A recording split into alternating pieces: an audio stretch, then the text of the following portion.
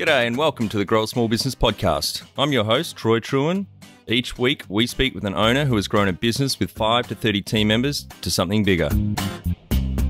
Diving into their numbers and unearthing the pain they've experienced, we explore what they did to overcome each barrier and what they would do differently from day one. Let's get into it. Welcome, everyone. Today I'm interviewing Edward Rocha from the Morning Goals based in Boston, Massachusetts, in the US. Thanks for your time today, Ed. Thank you very much. Let's start with how we know each other. So, Podcast Connection reached out and thought you might be a good guest to, come on the on the cast. And looking at your background and your uh, business experience, I, I think the audience will get a lot out of our chat today. Great. Looking forward to it, Troy. Well, tell our audience a bit about your business. Sure. So the Morning Goals is a business and uh, life coaching practice and consulting service. And so I have a background in finance, I have a master's in management. Um, and as we entered the pandemic, a, uh, what is it, a, a, year now, a little bit over a year, um, I was I pivoted um, to coaching. Uh, I think there was a huge need for people who were stuck at home, uh, sort of in crisis, both emotional, professional, personal, and I saw an opportunity to uh, lean in with my business experience, uh, with my my entrepreneurial spirit, and uh, I started the, the coaching business through a free program uh, that was basically a goal setting program that I offered to friends and family and colleagues, and through that, then I launched the Morning Goals. Great, and that's is that a mixture of one on one coaching and an online course they go through? Yeah, so so generally it's one-on-one um, coaching, and so the the my thought process is sort of like you know I want to grab somebody. Um, the cool thing about coaching, if if business coaching, what I do is I really get to work with with people's minds, um, entrepreneurs who are looking to expand. I have clients from the MIT uh, artificial intelligence guy to CEOs from large corporations to the small business, right? And ultimately, um, I know that the podcast focuses on small business owners and growing your business. And so, one of the cool things is that I get get to see some really awesome products or services that are about to launch or they're taking to the next level, um, and uh, and help them um, sort of, you know, I've realized that in coaching, it's not just the the the numbers game. A lot of times, as you're growing the business, a lot of people get in their own way, right? Yeah. And so that has to do with your background, your upbringing, um, past failures, past successes, relationships. And so my job is to sometimes work through that to help them uh, grow the business. Yeah, so yeah, you, I think you're right. There, uh, owners can get in their own way. They've got a, a preset recording in their head in some matters, um, and it's good to have someone external to help them unpick that and rewire that part of their brain. Yeah. So tell us how you started out. Yeah, so I come from a small rural community in Texas. I'm a country boy. I may not look it or sound like it, but I am. Uh, got had the great opportunity to go to a small university that you may or may not heard of, heard of called Harvard. Um, then, yeah. uh, and so, are you know, arguably one of the most known schools in the world. And so, left my small hometown community of 5,000 people and packed up and moved to the big city and my my goal in life was and i tell this story all the time was my goal in life was to really just improve my life it wasn't you know get rich or build anything and i realized that business and entrepreneurship was inherent to, to sort of my DNA. I realized, you know, my mother, my father was a, a, a carpenter, my mother, uh, uh, arts craftswoman. And then I come from a family of entrepreneurs and we didn't realize what we were doing um, and so until like I'm sort of analyzing why I got into business and what you know the the the, the launch of my businesses. Um, so my background is actually in banking and finance, mm-hmm. and so I let graduate from college uh, with with a degree in government, thinking that I was going to be the next Donald Trump of the world. Mm-hmm. Uh, got tainted there uh, um, as, as I did my stint in politics and said, you know what, I need to learn how to make money, learn how to build things, and started working in hedge funds and private equity companies. So that's how I started out. But my passion had always been do languages. Um, and so I built in college. Um, if you think about sort of the stories of um, Airbnb, if you think of the story of Facebook, a lot of these entrepreneurs started in their dorm room in colleges like Harvard. And so um, I started a small language company out of my dorm room with the benefit and the help of my tech friends who knew how to code with a and my first company was bostonspanish.com and it was a language training tutoring service uh, because in Boston, there's a bunch of white people with a lot of money who want to pretend they're ethnic. and what better way to be ethnic than to learn a second language? And I went from $10 an hour to $20 an hour uh, to my senior year in college, $100 an hour. Wow. Mm. Um, then as you know, as we get into the real world and we, as an entrepreneur and a founder, we then ask ourselves, how do we replicate this? How do we grow exponentially? And if I'm doing all the work, mm. right, then it's sort of like we're limited in, in sort of our growth. And so I developed a system called the Rola method. So the company's called Rola Languages. Um, that was uh, the, the idea was to replicate myself and my system of teaching languages from a quality con- control perspective. Um, and I hired my girlfriend at the time. Um, and I then she hired her cousin, and that's how I started the business um, Rola Languages. And so we've been thriving. Uh, we had to pivot like like everybody else during the pandemic. Uh, we moved online and then started a publishing company for language education as well during the time. So uh, we leaned really hard in uh, during the pandemic, um, which was awesome and was a great opportunity for us because we had one access to capital that we generally didn't have before um, because of the pandemic. And then two, we had actually time uh, to be able to carry out some of the projects that we hadn't been able to do in the past. Yeah, great. And what year did you start Rola? I started 10 years ago. Yeah. Um, and it started off and I, I, you know, I resonate with some of your, the people you interview and, and the mission of, of your podcast and your business is because, is that um, I started it off as a side hustle and so i one enjoyed people enjoyed teaching people enjoyed the methodology and the creation of material. And i sort of grew from one client to two clients to three clients. And i know one of the questions you're going to ask is when did you know you were successful? Or when did you know that this was a viable business? And so i realized that this was a viable business when i had hit 100 clients. Yep. I was working uh, in finance, um, in hedge funds, making $100,000 a year in my early 20s. Um, and I was like, okay, I have a hundred clients and this is a side hustle. I'm not spending a lot of time on it. I have other people who are depending on me.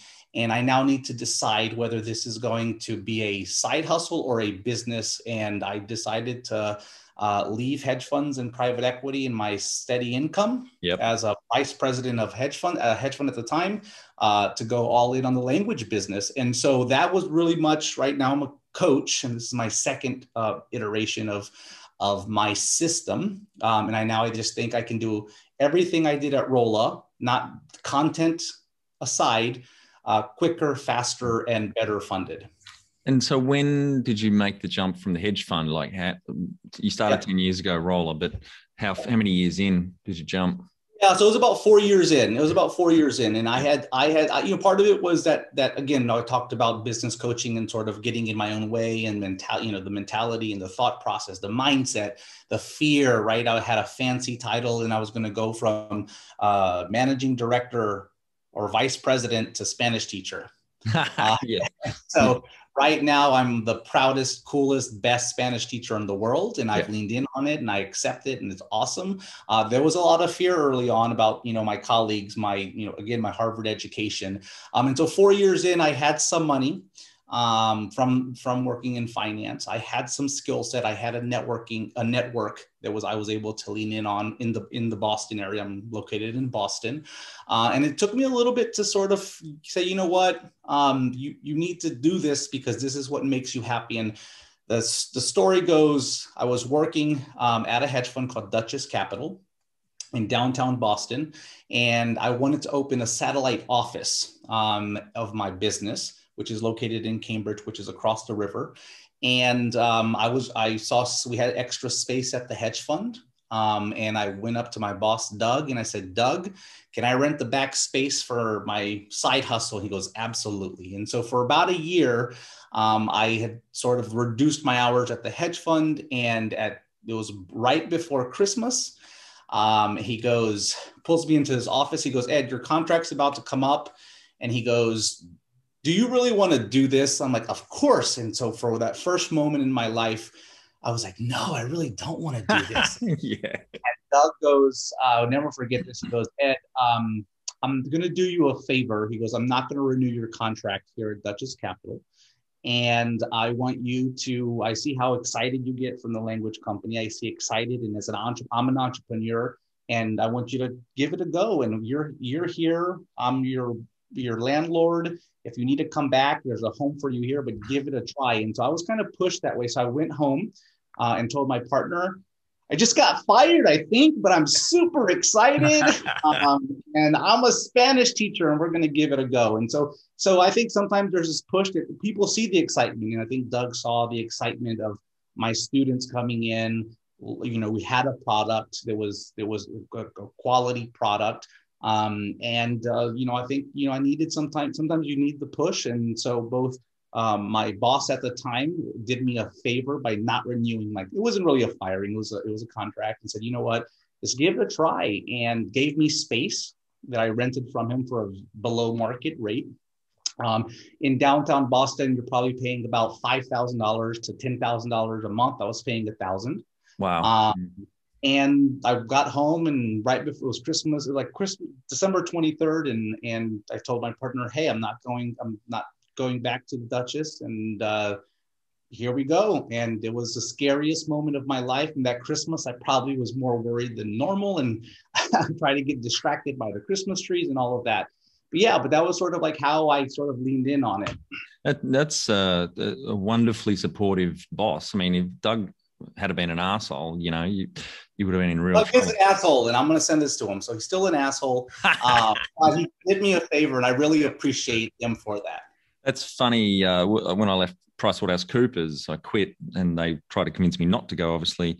Um, but my boss also said, you know, give it eight, give it twelve months, and if it doesn't work, come back. And uh, eighteen months later, HR finally uh, reached out and said, we think we've got to terminate your contract because it doesn't sound like you're coming back. So that's really good. Yeah, great start. Yeah.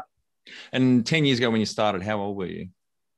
Uh, so I was 20. So, so I say 10 years because that's sort of kind of when I leaned in on it. But I started the business when I was in college. So I was actually like 19 or 20 at the time. I'm 38 now. Yeah. Um, so it took me a while to get Rola languages starting. So uh, 10 years ago, I was 27, 28. Yeah. Um, I actually, I know I look really young. Um, and so I, I, but I had started it and I was sort of like, inching around and it went from Boston Spanish to Romance Languages Institute to you know the real actual business where I had payroll, I had employees, I had obligations was was was was 10 years ago. Yeah. That's kind of why I you know how I get to that number. Right.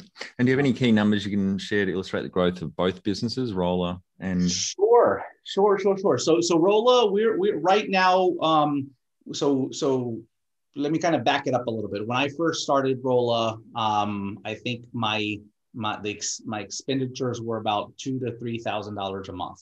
Um, I had uh, rented originally before I uh, used Duchess's space.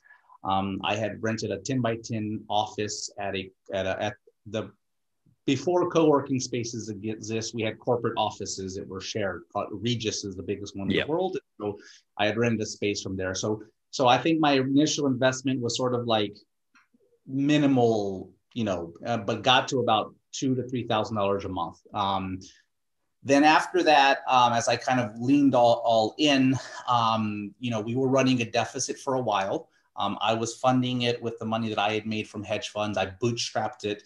Um, anybody out there who's a small business owner, my biggest recommendation and my biggest regret was that I did not raise money or even ha- go to the bank for a traditional business loan. And I never had had that conversation. Um, so use other people's money. That's mm. that's sort of my my moral of my Good story. Mm. Because you can l- go light years away. So if you believe in the product, and like I did, I went from a six fig- figure salary if I believed in losing that much money, then why not take the risk of getting a loan yep. or raising money? And I had I actually worked in business development, so I, I had the skill set to raise money and do capital and raise capital. Um, so right now, pre-pandemic, uh, Rola was growing about 20% a year. Right. Um, revenue before the pandemic was um, close to half a million uh, dollars of revenue. Mm-hmm. Um, and uh, we were about 35% off of that from during the pandemic. And so yep. this year looks like we're um, on par. We're hoping for what, what everyone in the US is calling the Biden bump. Yep. Um, everyone's sort of, you know, taking off the masks and going back to the real world. Um, but we also got an infusion of grant money um, which has been a blessing. Um, so I think we've gotten uh, about $100,000 of grant money um, for minority owned businesses here in the US. Yeah. Um, we've used that money to sort of um, uh, push projects forward, um, but also, you know, reorganize uh, the little debt that we had at the time. And so as we go into the rest of the year and uh, next year, we are going to leverage up um, on purpose to sort of take advantage of um, uh, the, the, opportunities that exist. So right now uh, we have outlived and outmaneuvered some of the other language schools in Boston. Um, and so we are now the biggest multi-language institute in Boston. So, so the, our biggest competitor, two of our biggest competitors um, failed pre-pandemic. And so we're trying to now leverage up to have enough capital to sort of take advantage of that growing going forward. Right. And what about number of team members? Yeah, so for Rola Languages, um, we have uh, 24 team members, um, of which seven of them are full-time employees. Yeah. Um, and uh, they're, you know, we're we're we're growing. We actually didn't lay anybody off during the pandemic, and we actually hired more people. Um, but the cool thing about everything that we're doing or have done um, from a financial perspective, and I think one of the things that I've learned um, is sort of thinking out of the box. And so the pandemic has really forced us to sort of say, okay, language training might be boring, right? You come to my class, there's five of you, 10 people in the class, um, but how can we do it better than everybody else? Um, and we have a system. Um, we also have material to back it up. We've published a series of children's books. Uh, we've published a series of workbooks, um, and we're super excited because that's also uh, long-term passive income and revenue um, that even if we don't sell Rola, it's sort of there and, enhancing the business. Yeah. Um, for the language, for the business coaching company, um, this is a product. So I spent one year trying to become um, uh, in, Instagram famous. yeah. Uh, as we all as we all do. I do not dance on TikTok.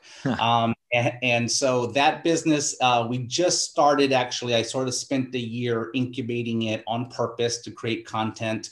Um, we, you know, part of that is I, as I said earlier, I think I can con- content unrelated, do everything I did at Rola instead of 10 years, but like sort of faster. Yeah. Um, one of the things that I think as small business owners that we do um, is that we sometimes grow without planning. Yes. And grow um, from our passion in our hearts. Mm-hmm. Um, because I have Rola and I have an income and I have money, um, the for the the the morning goals, I was able to sort of sit tight for a year, practice my skill, get certificates that people want me to have, um, hire a team uh, have two fantastic colleagues who are amazing yep. uh, that I hired before we started um, uh, launching the business. Um, and then we launched the business, and I, you know, I had followers on the social medias. I had content on the YouTube page. I had the blogs ready, and so now it's on cruise control, and and we are uh, growing. I think um, last month we had, you know, I think five thousand dollars of revenue, but I'm we're only working you know 10 hours a week 15 yep. hours a week um, and so the goal of this business um, as we go, kind of proceed through the end of the year is i think we we can comfortably um, hit 80 to 100 thousand dollars of revenue um, and then double that next year and so in the whole process will have taken three years yep. Um, and as opposed to 10 and sort yep. of sort of like that growth process yeah, great. And so the the two team members are they full time? So you're about uh, so they're both part-time right now. Yep. uh, the cool thing about starting a business in a pandemic is that you get highly educated people for cheap. Yes.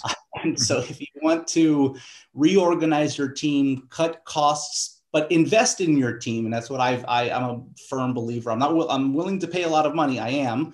Um, but like it's off we, we, we were connected the three of us um, uh, because of the pandemic. And yep. so um, uh, uh, one of my colleagues has a master's in education and is a tech guru. And the other one um, is a military wife who's an entrepreneur because she moves around every three years with her family and um, has experience because she develops her business every single time she moves. And so uh, the stars aligned, the moon was bright, and here we are working together.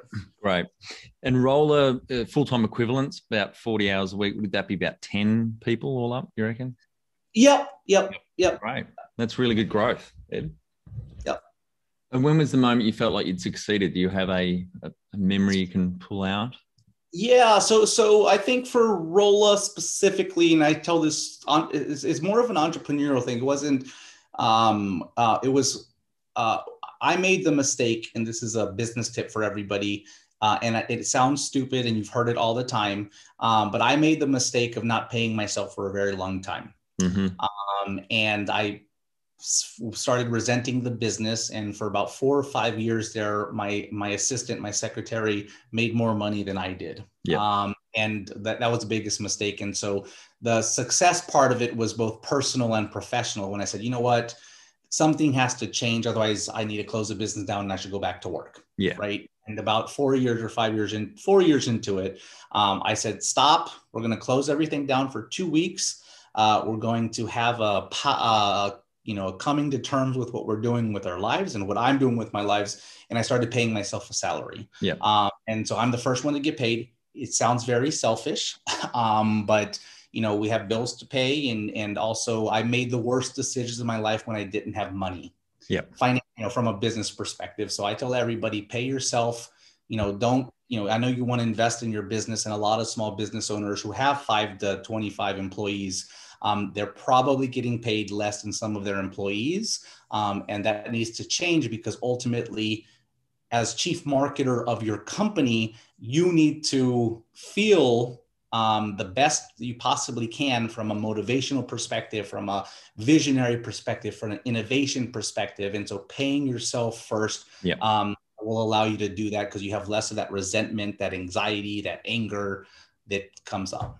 Yeah, totally agree, Ed. And the, another reason to pay yourself at market rates or close to it, it's all right to carve some off if you, especially if you're raising equity and you, you, don't want to raise as much equity, you might pay yourself a little bit under market. But the other thing it does is force you to really look at your business model to make sure that you're charging your customers enough rather than just, you know, going by lowest price, for example, trying to compete well, on price. So I am really glad you said that.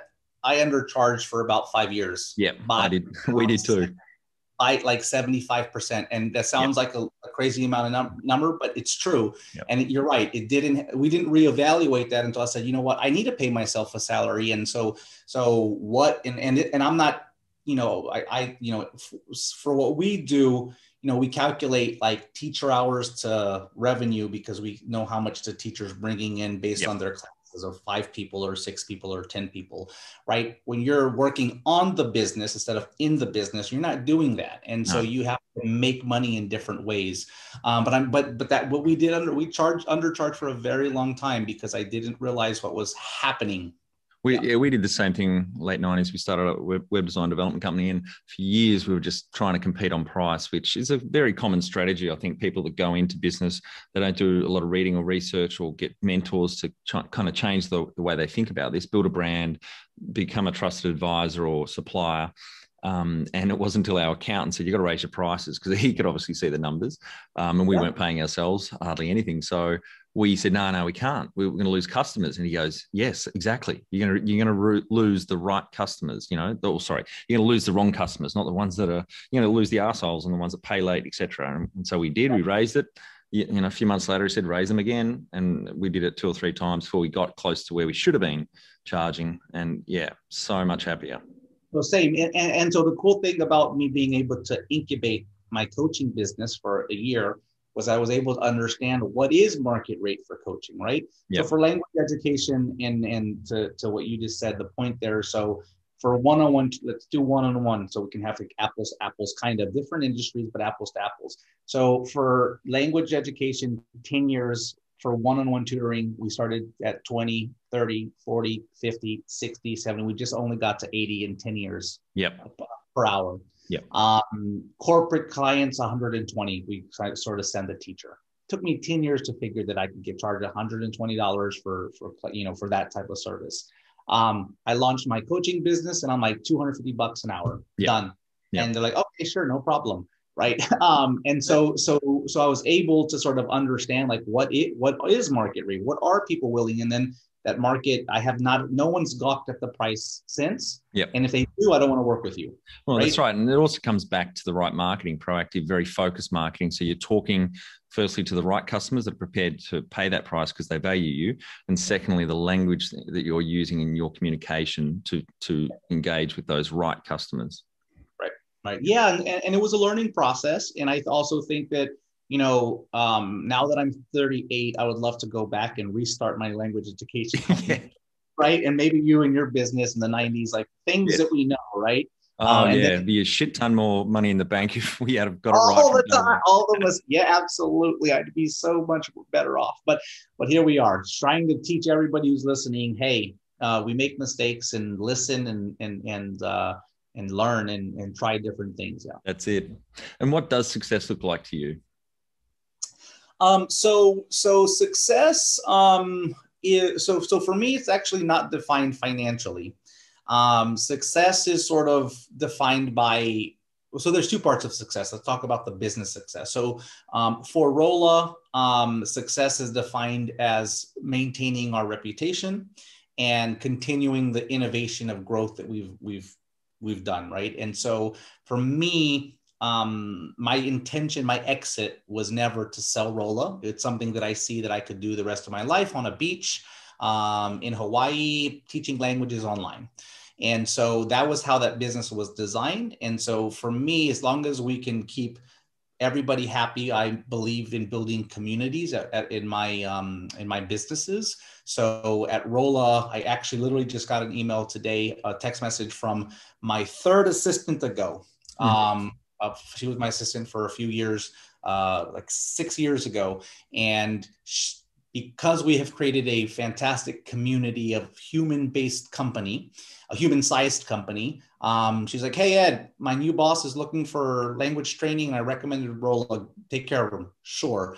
Um, and so for me, success is that right, creating. You know, I tell all of my young people who work at Rola, this is a stepping stone for, for you to do greater things in the world, and I want to be your reference for your next job. I don't yeah. want it to be a surprise. I want you to come to me, and I want to help you grow. So th- right there, I felt great and honored that she's like, "Hey, she left, she moved on." and she's like, you know, Rola is still home. Right. Now, I do want to sell it now because I during the pandemic I got two phone calls and somebody, a couple of companies like were like, oh, um, hey, we saw how a great reputation and brand you have, and I'm like, really? So let's let's kind of go through that process and um, but success for me is sort of like creating a community, creating the innovation. We're doing some amazing, cool things. We're not a tech company. We're more a content-based company. That's kind of how I define Rola. Um, and for for for um, the morning goals, um, that is my next phase in life. Mm-hmm. Um, that is something that I could make um, six or seven figures with on an ongoing basis. And and I, I define my entire entrepreneur journey in three words being able to travel, being able to meet people, and being able to inspire people. And so, if I can do those three things at the morning goals in the next phase of my life, or Rola, if I keep it for the rest of my life, then I'm the most successful person out there. Number one thing you'd recommend to marketing a fast growing business? Uh, number one thing for marketing a fast growing business? Yeah. Um, niche, niche down. Yep, absolutely. Um, so if you think that your uh, uh, demographic is a 15 year 50 year old white man who makes a hundred thousand dollars, that's still not specific enough. um, and yep. so niche down even more um, to understand sort of like who you're actually targeting. And so we struggled at Rola because we taught more than one language. And so when we marketed um, all of our Google ads and our Facebook ads, um, we didn't we, we we didn't we had to uh, initially the experiment was we're a, a, a language institute, but we teach seven languages. That was too confusing for people. So we scrapped that after a few years of doing that and not seeing results. And we said, we're a Spanish company. So any advertisement you see that's automated, it's only promoting the Spanish language. and then by default we're tr- trickling into french and portuguese and mandarin and english but my money was more diverted and marketed into to, to that um, for the the business coaching i am a business coaching company for creatives mm-hmm. creatives very defined market um, creatives are generally influencers or, or content creators on the internet um, and that in, in and of itself is the uh, sort of we weeded out by age. So it's sort of your 20 something who's making a shit ton of money. Yep. Um, and it's not Gen Z because that defines something slightly different than creative. Um. And people relate that. And so the more you can niche down, um, if you're a flower shop, if you're a photographer, if you're um, a consultant, yeah, niche down. Yeah, great advice. Um, so anything else on funding either of the businesses? It's all been bootstrapped. It's all been bootstrapped. Um, yep, uh, the grants for the yep. language education company um, and um, uh, the morning goals is a little bit too new for me to need money right now. Yep. Mm. Um, I'm in the process of um, getting a traditional small business loan here in the U.S. So yep. right now there's some great opportunities that you don't need collateral or don't need a lot of collateral or, or personal guarantees. Low interest rates are very low here in the U.S. Not sure in Australia. Yes. Yeah. Um, and it's a great opportunity to get debt. So some people like debt, and some people like like equity. Uh, debt gives me control. Yes. Yeah. And I, I maintain control of the company. So. If you were to start up today with plenty of funding, would you go into your industry? I guess that's uh, maybe a roller question. Firstly, would I go into my industry? Um, if I had all the money in the world, um, so so I would say yeah. So my my um, so whether it's I consider both education yeah. somehow teaching mm-hmm. somebody something and helping somebody some way. Um, and I think there is a lot of money and opportunities. Um, the pandemic, especially now, for example, um, has shown the weaknesses of traditional brick and mortar universities. Yes. Um, especially here in the US. So why are you paying $160,000 of, um, of tuition to Harvard or to Yale or University of Texas um, if you can get online and go to places like Rola Languages and pay $225 for a quality education. Um, and we're trained to teach you online, right? Yep. The brick and mortar schools are not. Um, and so, so from a, from a, I think a value perspective, there's a lot of money to be made in education. Uh, from a technology, so education technology, ed tech, um, there's a lot of large investments. So what I tell everybody, look at everybody who we come in contact with has been educated by somebody mm-hmm. right? So that's the value whether it's books or teachers or schools. Um, so yeah i think i, I would say yes. Can you, outline, can you outline the most stressful point in your small business growth journey so our audience can learn from it? My most stressful point uh, was at Rola Languages, and we didn't have, we were running out of money. Um, and the my partner um, Brian, my uh, assistant, and I called him the Bank of Brian, and he bankrolled us for about six months. Um, by writing five to ten thousand dollar checks so that we could pay bills. Yeah. Um, and again, when you don't have money, um, you your survival um, uh, instinct kicks in, but in my opinion, it blinds the objectivity that you need to do to make the right decisions because you're you're you're you're just trying to survive and you're just taking every you're saying yes to everything, but you're not sort of your filter uh, uh as as a businessman or woman is not there. You're not filtering out what's what's objectively needs to happen for the business. Um, and I I remember um, you know literally um, my two assistants at the time saying, "Oh, you can pay us in a month or two months." I'm like, "No, you need to take the money and cash it as quick as possible because we may not, you know, have money, and you, you know, I know you have rent." I mean, that was early on. That was like sort of a year two or three or four, or sort of early on in the in that first part of the business.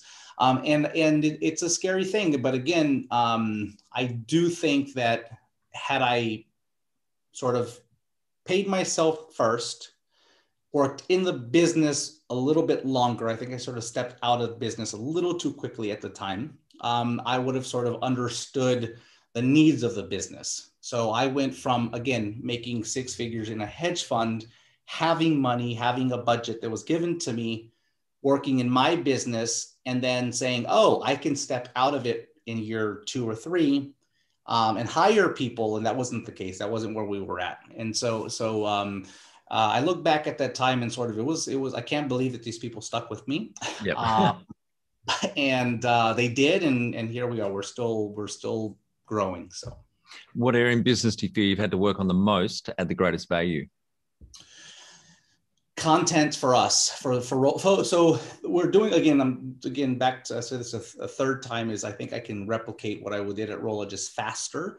Um, and so we have spent time with content. So we are a service-based business and i need to have content. And so Rola has turned itself into during the pandemic into a publishing company. Uh, we have published nine books across three different series um, and um, I'm going to be able to do that um, for the morning goals. That's the intention is to turn us into a publishing company. And then instead of publishing language books, we're going to be publishing self-help improvement books for, for entrepreneurs and business people and people who want life coaches and self-improvement. Um, and I'm gonna do that way quicker. And so I think that that content um, is important for our type of business. Um, and there's a uh, I, I saw a quote that says, uh, you know, if you're if you're a coach and don't have a book, you're like driving without a seatbelt type of thing. yeah. Um, so like you know that expertise of you know that, that that you can use to not just make passive income but to show your expertise is important. What have you enjoyed least about managing fast growth? Um, the the the the least so the the biggest concern of growing fast um, is that you, as the owner and founder, uh, become um, removed from the business. So you go from being a human sized community oriented business where you care about your employees and you care about your your clients uh, to a cold, viewed as a cold corporate um, company that is heartless. Yep. Um, and for me, it's been really hard, especially for Rola, um, the language company, um, to step out of it so that I could work on it. But when I'm not in it, it's hard for people to feel my energy and my positivity and my motivation and to build that community. And so, how do you do that when you're not there on a regular basis or not there uh, working on it with your colleagues? And so, you know, I was interviewed uh, a few weeks ago talking about sort of your business philosophy. And, and, and right now, um, because a lot of us are still working from home, um, how do organizations um, uh, create a community within their their companies across right miles and miles and miles and stuff right because you're no longer in the office um, and that's a, something that some of these big corporations are struggling with um, is, uh, because we're working off from home yeah I read something the other day, a stat that uh, I think 81% of this might have been just here in Australia, but 81% of people want to continue working at home. They don't want to go back into the office. That's huge. Yeah, no, yeah. So, so, so I, um, I have had calls of people who know their office is empty saying, "Can I work in your office?" um, so I see it both ways. I do think that, um, that we're going to see a shift in how we work. Yes. Um, I am I am more efficient because I'm not wasting two or three hours of my time in traffic. Yeah right? Um, and I am happier because you see this couch behind me. Yep. Um, I need a 10 minute break. I'm not, there's not a judgment of being sort of sitting down and lounging a little bit, right? Yep. Um, and I think that there is going to be a shift in how we um, uh, work. And I think working from home and um, is not a bad thing. And I think ultimately, when we talk about as we grow a business, um, I've never met any uh, no small business has ever told me that the cost of doing business has gone down as no. they've started their business, right? Mm-hmm. It's sort of taxes and taxes and regulations, and um, your rent is going up, you know, three percent or six percent a year, right? So this may be an opportunity for people to shift a little bit. Yeah. And what do you love most about growing a small business? So what I love most about growing is sort of it's a it's a so I'm a I'm a creative, I'm an artist. Um, but I also and, and entrepreneur, but I like to see things grow. And so as you grow your small business, Um, we just did a for the first time in in 10 years for Rola, we did a massive renovation um, during the pandemic because the offices were empty, our neighbors weren't there, and we had money and we were able to do it. Um, so not only were we able to build um, with intentionality, um, but we were able to plan for our future success. And I think that growing a business, um, once you are able to have money and, and, and, and have positive cash flow and have growing revenue, that, you know, um, it's awesome to be able to see that, that tangible growth right? And this is again back back to any type of small business um, whether it's hiring a, another person that's tangible. You see it. Whether it's getting a bigger space uh, whether it's being able to buy more product, whether it's being able to offer more hours of service. Those are all things that I think are, are motivating for us. What's been the biggest mindset shift for you in your small business growth journey? Um, let me see. How can I say this? Um, uh, the the the the I was going to say something vulgar, but I don't want to say. I That's okay. I swear all the time, so the audience is uh, to it. no, but I, I think I, I, think I think the the lack. I was going to say don't don't put this. At, no, I'm not going to say that. I'm going to say um, the confidence, being able to say, you know what, this is what I have to offer. Take it or leave it. Yeah. Um, when we start when you start a business, there's a, a, a everybody experiences an initial fear and you think you need to take all the clients you can get that come into the door because mm-hmm. you have mm-hmm.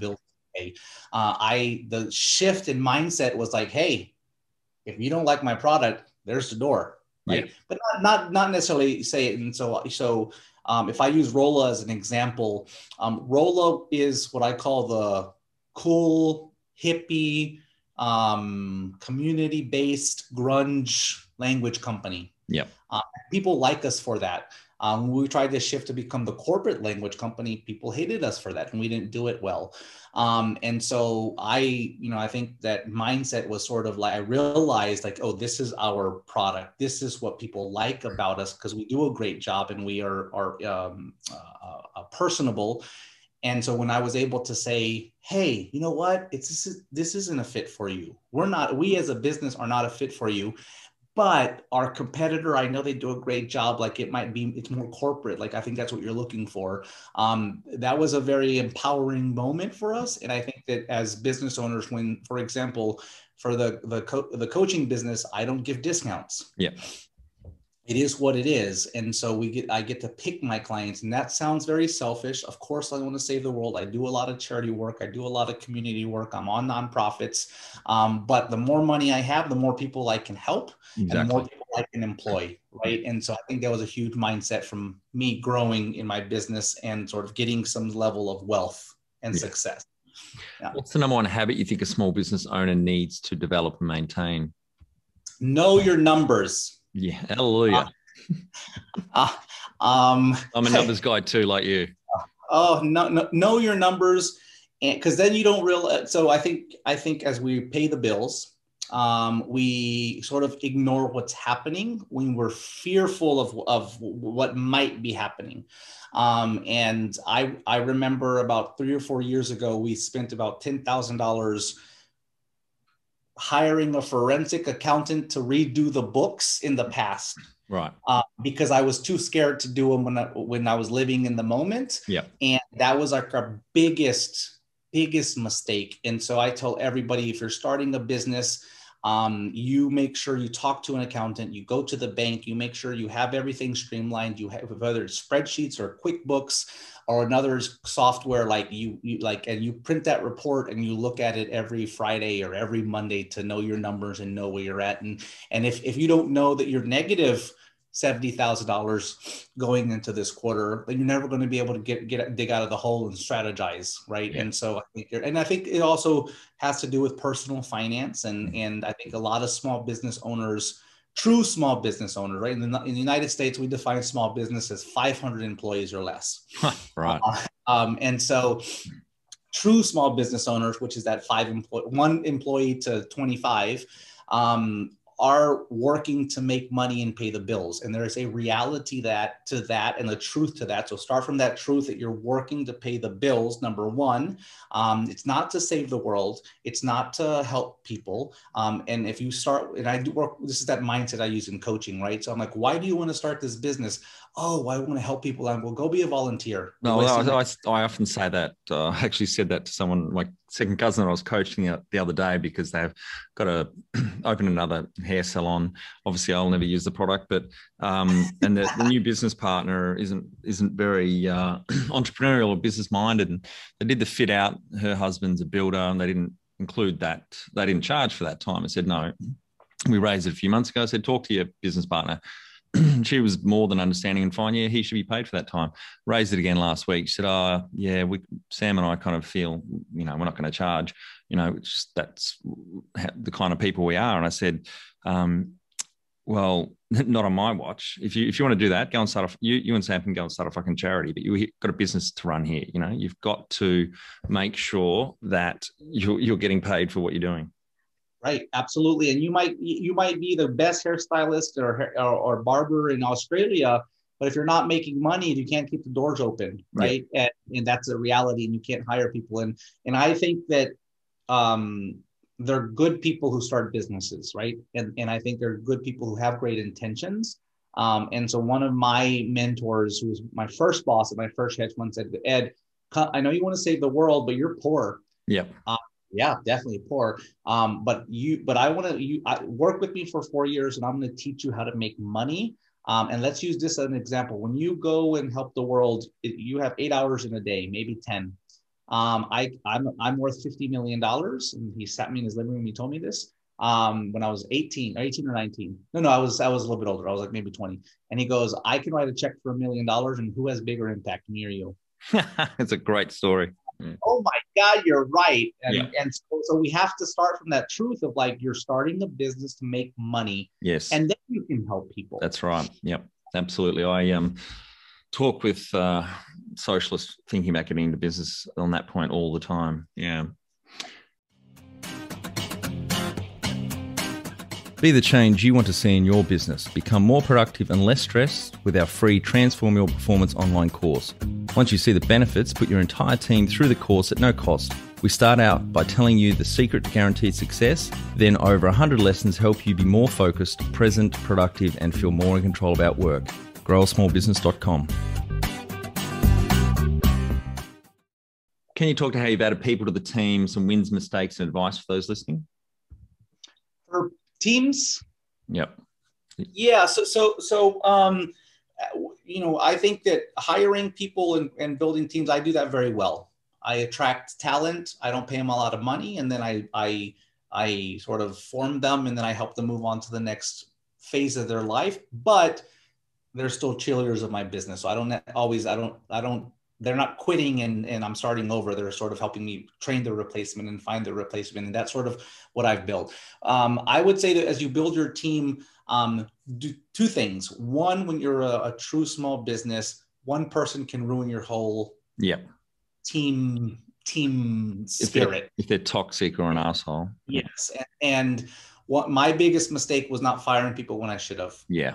Hmm. Um, and I think that anybody out there listening to this, if your gut says you need to let this go, this person go on yep, day one it. or day 100, you yep. need to do it, move on, take your losses. If he sues you was meant to be, whatever, yes. um, like let it go. And I think that we, we as nice people yeah. start businesses, um, you know, you know, we want to give people opportunities, but, but if you're, I think most of us know whether it's a fit or not pretty early on. Yeah. Um, and and don't write it out. Just cut loose. What are some things you'd recommend to building a sustainable and kick-ass culture to help with the growth? Um, uh, building a culture. So so invest in your team. Um, I, I think a lot of times we, um, you know, if you uh, if you think about sort of these big groups that have cult, like company cultures, Google and Uber and, and all these people, um, Facebook, they have campuses. We none of us we don't have to do that, but um, I think that two things: um, let people know that they're supported. Yep. Um, and on a regular basis, if you're the boss, ask them how you can support them. Yeah. Um, keep that goes a long, long way. So one of the things that so my language company, back to Rola, um, we are primarily an adult education business. In adult education, there is high turnover um, from a business from a on the business side, on an employee side, because nobody grows up to be a Spanish teacher at night. Mm. You grow up to be a Spanish teacher in a school, right?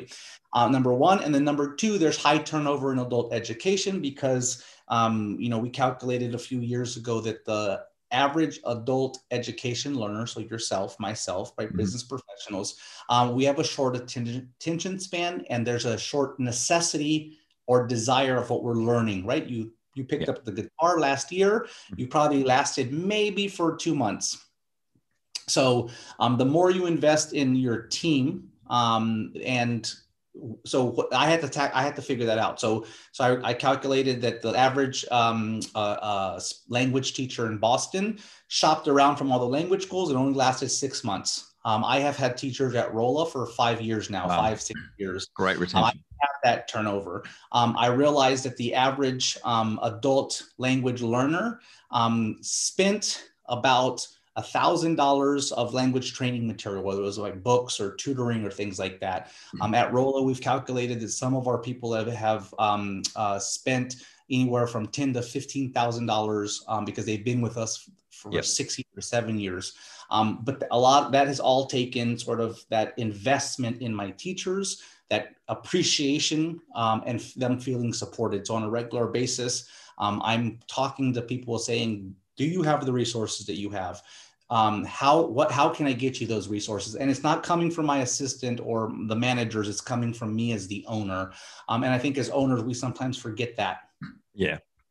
Tell audience how you've handled balance. balance work life balance business life balance corporate balance all the balance um i take na- so i've been so every job that i've ever had in my adult life has allowed me to take naps during the day um and so um I've, I've been fortunate enough that ever since i started my professional career um, i've been able to take a 20 to 40 minute nap um, throughout the day uh, now that sounds really funny but that goes a long way because i can then sort of regroup and energize um, and I also have been fortunate, like people like Doug and my my other uh, boss Mitchell. Um, family was their number one priority. Yeah. Um, and so they all taught me that family is number one. Um, and so you know, there's no such thing as an emergency. No. People, I mean, okay, you're you're bleeding, your head gets chopped off. That's an emergency. But generally, um, uh, my my my mother used to say this kind of a little dark, but she said, if anybody dies in the family in the middle of the night, do not call me. It is not an emergency. Let me sleep. You can call me at seven o'clock in the morning when I wake up. And I'm like, Mom, that's mean. She- She's like, No, they're already dead. What do they want me to do? Right? Very practical, pragmatic mother. but it's there's truth to that, right? What are you going to do? Cry with everybody else, or you? Why can't I wait till seven o'clock in the morning, right? Um, and and so I, that's one part of that, and then the family side of things. So like, there's no such thing as an emergency, and poor planning on your part is not an emergency on mine. Yes. So, so I stop work on Friday at 8 p.m. or, or whatever, right? Uh, Not, not, not Friday 8 p.m., but Friday at 5 p.m. Yep. Um, and if you think there's an emergency on Saturday because you need to register for a language class, you're going to have to wait till Monday. Yeah. um, and, on, and we're going to take care of you and we'll be there, you know, bright and early to make sure you're okay. Um, but generally, um, you know, if, and, and back to finance. So emergency at emergencies in finance I've worked in finance, in education, uh, in construction, and now coaching. In finance, there should be no emergency that happens after the markets close if you're invested in the market. So why are people working till six o'clock, seven o'clock, eight o'clock, nine o'clock, or on the weekends, right? Mm. If you're signing a contract and negotiating a contract, right? Every, you know, the, you know, the negotiation stops, but nothing's going to be signed until everybody gets there on Monday or Tuesday, right? So nobody should be doing this. So, so I think, so I'm a little cynical in this whole like work-life balance because I believe that, um, and I work with my clients on a coaching perspective to protect their time. Yes, because that is so important. They're like, well, well, why can't you protect your time from 12 to 1? Go for a walk and eat. Yep because I need to see clients. Well, why do you need to see clients? Why have you asked them to, to, to see you at one and not 12? Yeah. Well, no, you know, right? And and so yeah, protect your time. That's it's so important. We have one life, one body, uh, and we need to take care of that both mentally, physically, and spiritually. So. And how much professional development have you invested in yourself over time? Uh, books, courses, podcasts, training, and conferences, etc. Yeah, so Harvard cost me a, uh, fifteen thousand dollars because I was poor. Mm-hmm. Uh, I have a master's degree from Boston University that cost me about thirty-five thousand dollars because it was a continuing education thing. Um, my master coaching certificate cost me about six thousand dollars. Um, and I just read books and I listen to your podcast and I learned so much from that. So, yeah. so I, I, think that that I'm a life learner. I speak four and a half languages, half I'm trying to learn Mandarin. It's been a 30 year process, uh, and I'm still on the numbers. Um, but I do think that as as as you know, the the best entrepreneur and the best business owner is the one who keeps learning. Yeah. Uh, and and learning from other people and learning outside of their industry. At Harvard, and I said this recently um, the Harvard education system is yes, you have your your degree. So mine was government, but they force us to take classes that are furthest away from that degree plan. Right. Um, so, so I studied government, but I had to take science classes mm-hmm. um, because the whole idea is that, that I will be a better politician or government official if I can talk science, if yeah. I can talk you know, bio, you know, chemistry and other things, or, or, at a minimum understand sort of these different things that are happening, right? Um, and I, I believe there's some truth to that. And so I, I can talk about any subject you throw at my way because I'm a life learner and I like to read and learn and and push myself. Anything else on mentors or coaches that you've had you want to tell? Yeah. So so um, if anyone has never worked with a coach, I'm a slight plug for myself. Um, and you um, hire a coach um, the and and maybe this is a segue to that first question you just asked right now uh, earlier a second ago. Um, the more you invest in yourself, there's truth to this. You can statistically cut it up in different ways. Um, the more you invest in yourself, the more money you're going to to mm-hmm. receive growth. So I, I, use this example. So um, at the beginning of the pandemic, pre-pan, right, literally December before the March of the pandemic here in the U.S., um, I hired a publishing coach. Um, and she charged $4,000, I'm sorry, $400 an hour. Um, and I met with her um, two hours a month. So I was paying 800 bucks a month for her publishing experience, coaching me through this. Um, in one year, um, so $6,000 later, right? So mm-hmm. and nine, no, what's 12 times eight? Do the math. You're, uh, uh, 9,200. Yeah, nine thousand six six hundred. Sorry. Yeah. So nine thousand six hundred dollars later, um, I published nine books. I converted my company into a publishing company. Has a, a publishing arm now. Um, I'm in the process of writing another six books. I've hired a co-writer to write my novel memoir book. Mm-hmm. Um, and I would not have been able to do anything had I not invested at nine thousand six hundred dollars. Yeah. Wow, that's great. Um, yeah. And now I haven't made it all back yet, yeah. but I am 1000% confident that at this point, oh, and I'm going on a book tour in September for my, my, children's books, these mm. children's books I wrote. Um, and so I would not, and I started a podcast because of her as well, and all this other, and started my coaching business because that was part of the thing. So I got yeah. way more than than than the value of what I paid her. And had I not spent that nine thousand, if she had told me you're going to pay me nine thousand to almost ten thousand dollars this year. I would have been like, oh, ooh, that's a lot of money. Oh, why would I do that, right? Um, and we do that. We sort of put this this um, uh, like one value, and we think it's a lot of money. I don't know if you've read the Four Hour Work Week. Yep, Tim Ferriss. Yep, and he sort of says, cut it out, cut it down, right? There's a worksheet in the Four Hour Work Week that says, like, you if you if you think about it from a one dollar amount, yeah, it's going to sound like a lot. But if you cut it up into a day, how much is it going to cost me per day? Yes. Most of the things that we have that have most value are actually only like five or ten dollars a day, sort of in the long run, as you invest into in yourself. And I'm a true believer in that. And I think, um, you know, anybody listening, invest in yourself. Do yep. the course. Yeah, yep. hire a coach. Absolutely. And do you have a board of directors or advisors? I guess more for Rola.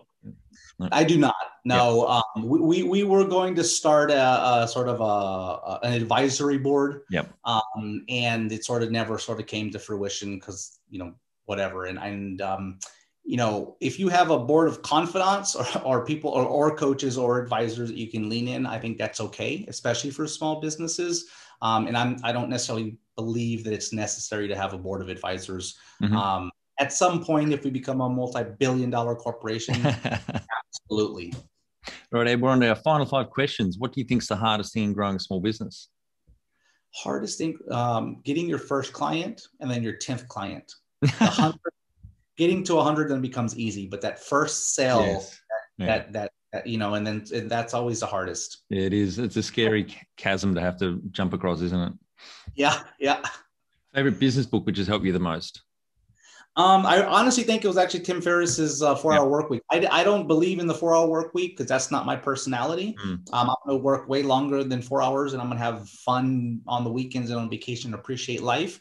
Um, but like some of the things that I learned from it, I no longer read my email and um, as much as as as I used to because I don't because I was like he's right. Like you know yeah. if they really get a hold of. So it, so let me kind of for people who don't haven't read it, in in it he says you know you can train people to say, I'm only going to read my email Friday at 5 p.m. Yeah. And if you really want to get a hold of me, you will keep bothering me until you get a hold of me. If not, then it's not a, an emergency or necessity.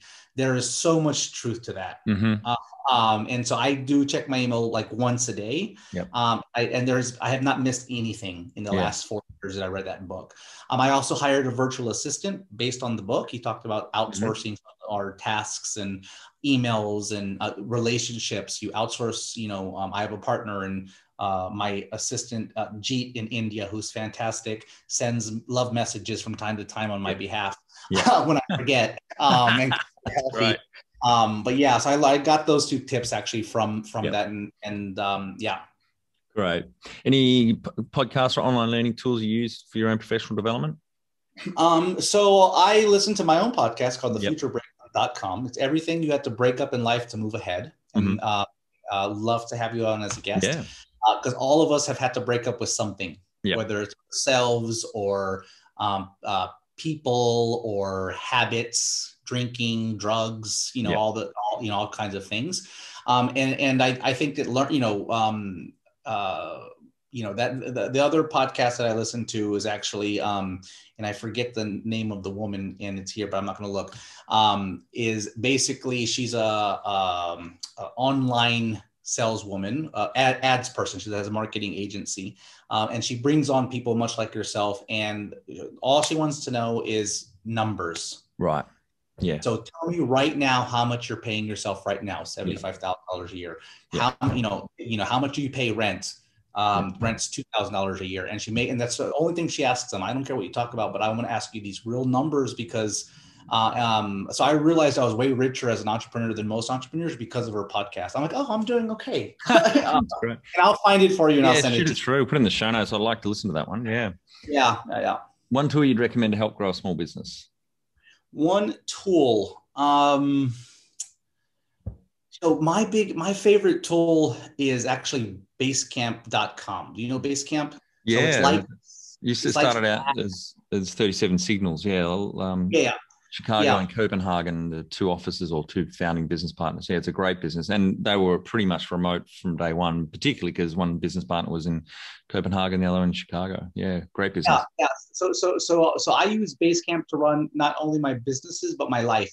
Yep. Um, and I have a personal one. I have one for the coaching company. Um, I do some real estate investment projects, and I, ha- I use it to manage those projects. Um, I've used it both internally, but also externally to manage um, clients outside of businesses. Um, and so it's been a it's been phenomenal. So I think that's actually been mm. the best investment because with one login, I know what everybody's doing at all times, and they're communicating with me, and it's in one place. And yeah, right.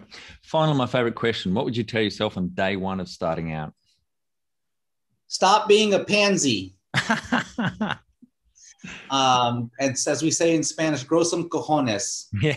Um, uh, no, I, I think fear, right? That, and, and so that sort of like, you know, this stop being scared. Um, yeah. And that back to that mindset shift was, I think there was that, that, that as an entrepreneur, we live in, in fear of judgment, fear of ourselves and fear of failure. Hmm. And if we can stop living in fear, um, then you can l- have leaps and bounds. And once I sort of like move that fear and compartmentalize it, yes, it's still there. And yes, it creeps up from time to time, but I sort of label it and move it over. Yeah. Then I have been able to grow exponentially. Fantastic, Ed. Thanks so much for your time. I think the audience got a lot of value out of your journey and what you've shared with us today. I really appreciate it. My pleasure. Thank you very much. And for our audience, we would greatly appreciate a review in iTunes or whatever platform you listen to us on. More reviews means we bubble up higher in iTunes, etc. So more business owners looking for podcast help with their growth will find us.